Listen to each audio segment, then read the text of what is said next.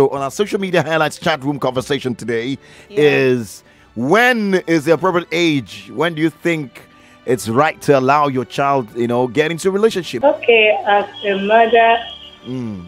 I will allow my female you know, child to go into relationship after university. And that should be at the age of 25. Oh, wait, okay. after university? Yes. Wow. So, I mean, the age, let's say plus or minus 25, 30, before 26? Anything below 25 is unacceptable. I've been having girlfriends since even before I was 10. Before eh? you were 10? no, no, no. Don't be on. serious, please. And I know how this guy play. You've been having no, girlfriend from 10. No, I've been having girls like we, we are just we just like oh we are dating ourselves.